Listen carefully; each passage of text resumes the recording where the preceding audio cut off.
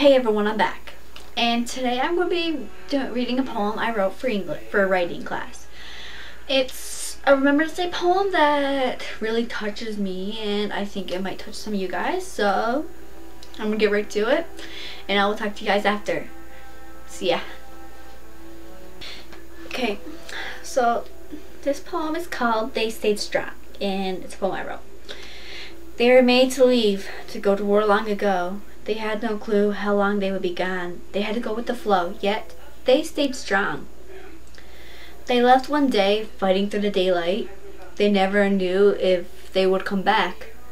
They wandered through the night, yet they stayed strong. They go out on the field having to fight. Then when one of them gets shot, they get a big fright, yet they stayed strong. They hear a gunshot. He looks down as he takes his last breath.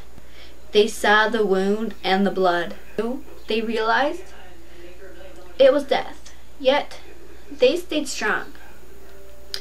It had they had the body taken home. At the funeral they cried. The family was given a folded up flag. They prayed and looked up at the sky. Yet they stayed strong. We all gather for a moment of silence on this day in November. The remembrance of what they did for us, the ones who fought for us, we remember. Yet they stayed strong. They stayed brave, and we pray. Thank you guys for listening.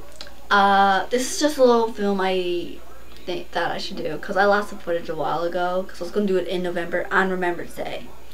But anyway, here's here's the video. I hope you guys liked it. If you did, give it a thumbs up. Um, comment down below if you think I should redo something else later. I don't know. Um, and if you think so I should read something later, comment down below what you think it should be. Uh, subscribe if you're not subscribed. And all my social media links will be down below in the down bar below. So go on over, check that out. And I will see you guys next time. Peace out, homies.